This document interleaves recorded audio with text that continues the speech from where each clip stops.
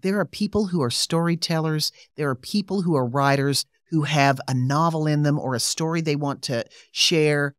and and they want to do it for the beauty of writing that book and for the the pure pleasure of engaging in that art and that's why they should do it.